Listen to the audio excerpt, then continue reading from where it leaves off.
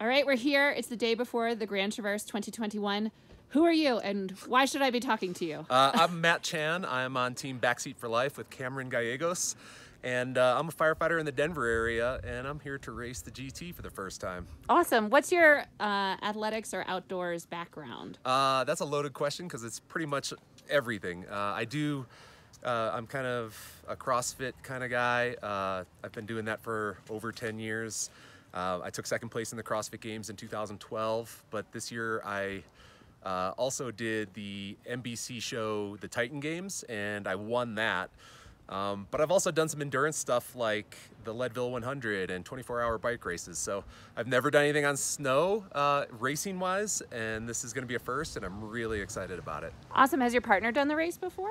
He hasn't. He was signed up to do it a couple, a few years back, um, and they had to bail on it. So this is a first for him, and he and I decided we were going to suffer for 41 miles together for a couple of charity causes, and that's that's what we're doing. That's awesome. Um, what are you most excited about?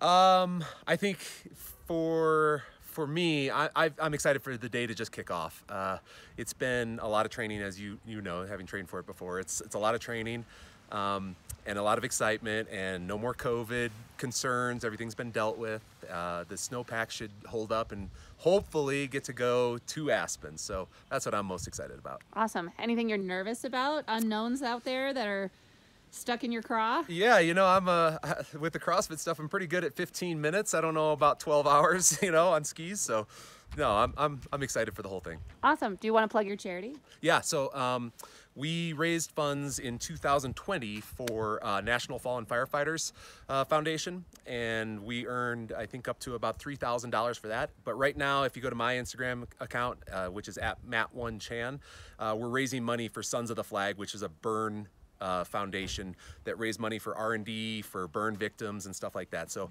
if you're willing to give $5, that every little bit helps. Uh, the link is in my bio. Awesome, Matt. Well, we're really excited for you. We'll see you on the other side. Okay, see you Good there. Good luck.